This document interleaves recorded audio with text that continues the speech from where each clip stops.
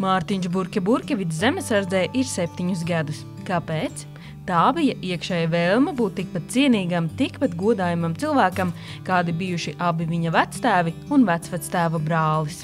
Tāda iekšējā savu pārliecība attiecīgi par valsts domājot, um, manā skatījumā katram vīrietim būtu jāprot aizstāvēt ne tikai savu ģimeni, bet arī tās vērtības, kas ir mūsu valsts, kas ir mūsu tauta.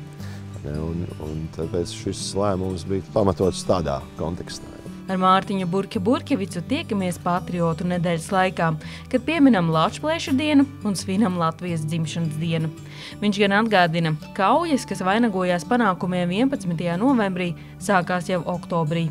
Asiņainas un smagas. Tāpēc tā nav tikai viena diena gadā vai viens notikums, kas noticis 101 gadu atpakaļ tā ir diena, kas turpinās, ja, un kas iezīmē to, ka tu nedrīkst padoties. Kaut kādā pilnīgi bezcerīgā situācijā, pilnīgi bezcerīgās lietās tu vari gūt uzvaru. Jautājums ir, uz ko tu paļaujies. Tāpēc uh, Latvijas diena viņa nav aktuāla tikai 11. novembrī. Viņam ir jāskan cauri visai dzīvei. Pie tām lietām, kas ir varbūt tādas maznozīmīgākas, ja, kaut vai mājas tīrīšana ja, bērnam, pusaudzim. Ja. Ka tev ir jādod šī motivācija, ka tā ir tava cīņa, ja, ka tā ir tava cīņa pašam ar sevi, ka tu iesāc iet vienu jaunu ceļu, kas tev dod tādu rezultātu, tādu uh, vēstījumu, kas tev palīdz atkal tālāk virzīties priekš tavā dzīvē, mācībās gal galā un tā tālāk. Kā kapelāns Mārtiņš Burke Burkevits uzrunā karavīrus arī svētku laikā par izturību, par pastāvību savās domās, savos pamatos un roku nenolaišanu. Un viņš atgādina atmodas gadu saukli, kaut pastelās, bet brīvi.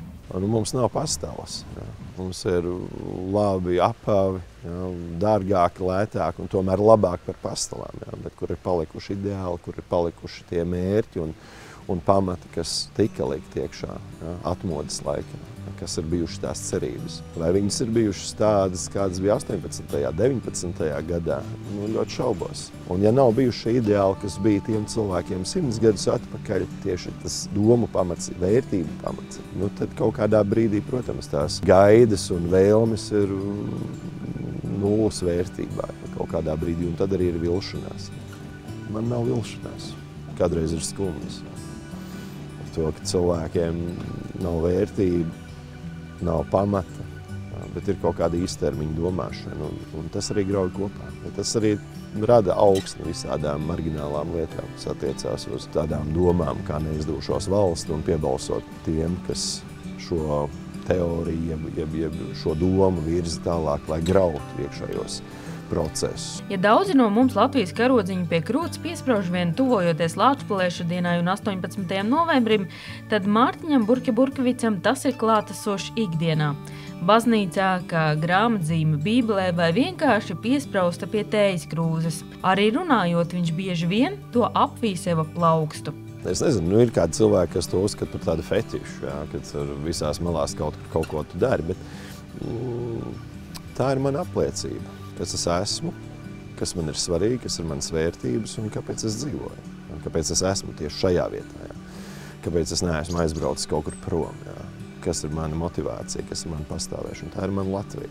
Jā. Par to ir cīnījušies mani senči, to ir cīnījušies mani mīļi cilvēki.